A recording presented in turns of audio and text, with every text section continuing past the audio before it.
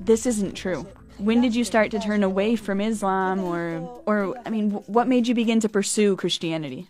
Okay, the, the, the, while I was working in a Muslim masjid as an imam, uh, as a parish priest, once I preached in my parish that Jesus Christ is not God.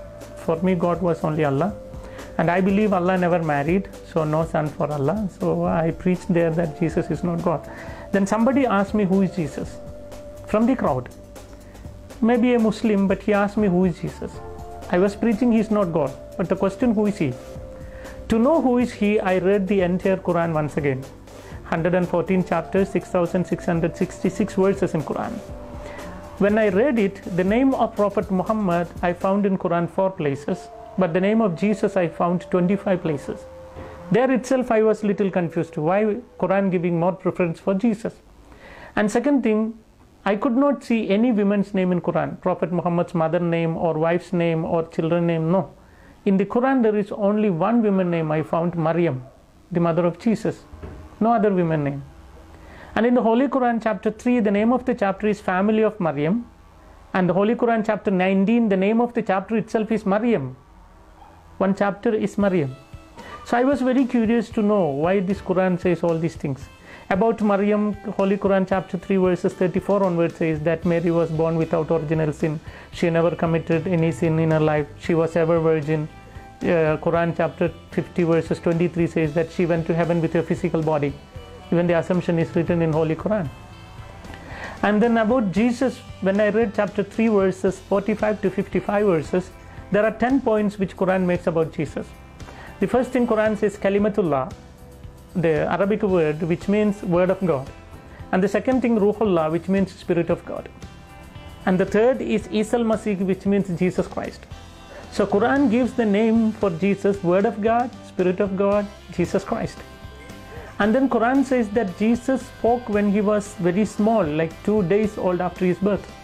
He began to speak. Quran says that Jesus created a live bird with mud.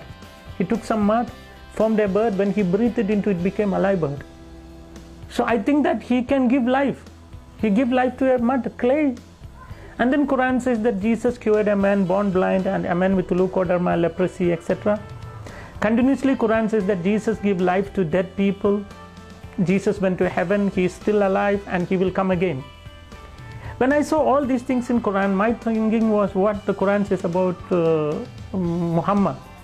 You know, according to Quran, Prophet Muhammad is not the word of God, not the spirit of God, never spoke when he was two days old, never created any bird with mud, never cured any sick people, never raised any dead people. He himself died. And according to Islam, he is not alive and he will not come back. So there is a lot of difference between these two prophets. I, I, I, don't call Jesus as God, you know. My idea was he's a prophet, but he's a prophet greater than Muhammad. So one day I went to my teacher, the one who taught me 10 years in Arabic college, and I asked him, Teacher, how the God created the universe? Then he said, God created the universe through the word. Through the word. Then my question, word is creator or creation? Must clear it my question whether the word of god is creator or creation quran says jesus is word of god if my teacher said the word of god is creator which means jesus is creator then the muslims must become christian suppose if he say the word is creation he will be trapped you know why he said everything created through the word suppose if he say the word is creation then how the god created the word Wow. So he cannot say the word is creator, cannot say the word is creation. So he was quite angry. He pushed me out of his room and said, Word is not the creator, not the creation. You get out from me, he said. If you see things so clearly, why don't all Muslims convert to Christianity? Why don't they accept this?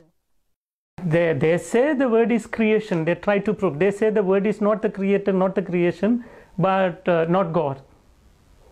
Not God not the not the creator not the creation so not god and not creation also so they don't equal with god that's all their problem so then when he said that i told my teacher word is not the creator not the creation that is why christian says word is son of god then he told me if there is a son for god i must show him the wife of god without wife no chance for having a son then i showed a portion from the quran quran says that god can see without eyes God can talk without tongue.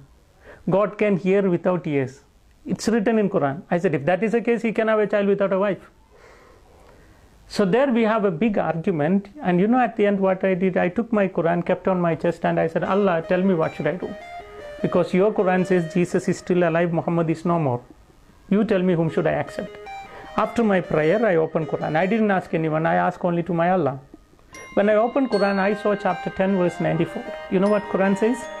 فإن كنتم في شك مما أنزلنا إليك فاسأل الذين يقرؤون الكتاب من قبلك لقد جاءك الحق if you have any doubt in this Quran which I give to you, go and read the Bible or ask the people, those who read the Bible.